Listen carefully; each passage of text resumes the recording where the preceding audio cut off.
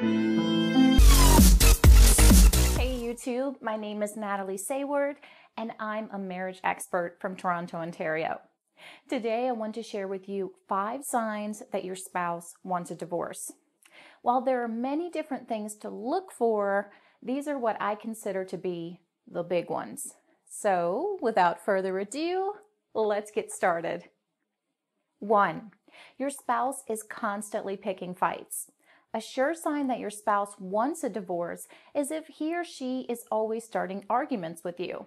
While it's normal for married couples to have their share of disagreements, if it seems like your husband or wife is looking for fights, then it's possible they are. If you find yourself in this kind of situation, it's important that you remain calm, cool, and collected. If you respond angrily or get upset, it'll only make things worse. Instead, give your spouse some space to blow off their steam. It'll not only give him or her time to rationally think about what they're fighting over, but they'll also realize how well you handle those situations. Two, your spouse isn't willing to work out issues. Every marriage faces its fair share of problems, but how spouses handle issues when they arise is what makes or breaks a relationship. If your husband or wife isn't willing to talk about issues with you or brushes you aside every time you bring one up, it could be because he or she wants a divorce. By not dealing with issues, it's their way of saying that they've already given up on your marriage. If this is the case, you can still turn things around. Of course, it'll take effort and dedication on your part, but it is possible.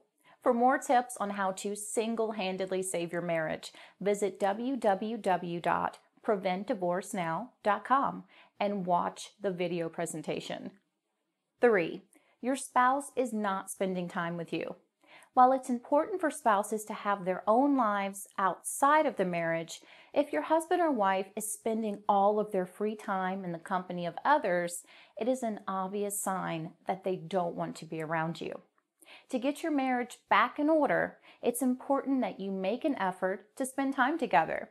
This means scheduling date nights and setting aside to communicate with one another. If your spouse is reluctant to spend time with you, then consider the role you play in your relationship and ask yourself if you're doing anything that's pushing him or her away. For instance, if you have a habit of being negative or you nag them a lot, those are things you can then work on. And when your spouse sees that you're making an effort to change your ways, he or she will be more willing to spend time with you.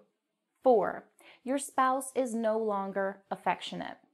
This one depends on the couple, but if you went from holding hands and sharing goodnight kisses to strolling like strangers and sleeping on opposite sides of the bed, then it's likely that your spouse isn't happy with your marriage. Since intimacy is necessary for any romantic relationship to survive, once it goes out the door, alarm bells should be ringing. To bring the passion back, start small. Something as simple as a kiss on the way out the door or cuddling on the couch can reignite sparks between you. Five, your spouse doesn't talk about the future with you.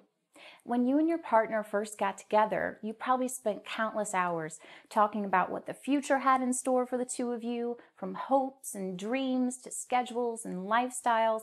You had it all sorted out.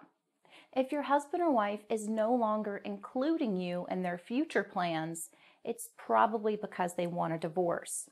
Once a spouse starts thinking for one instead of two, it's not usually a good sign. To prevent divorce, it's important that you keep communication open between the two of you and make a point to talk about where you see yourselves going.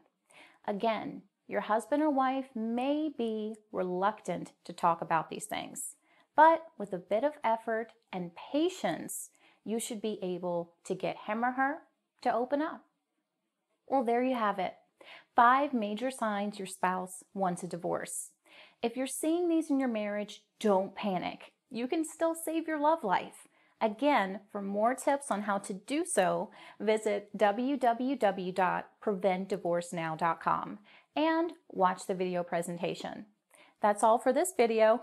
Thanks so much for watching, and until next time, take care.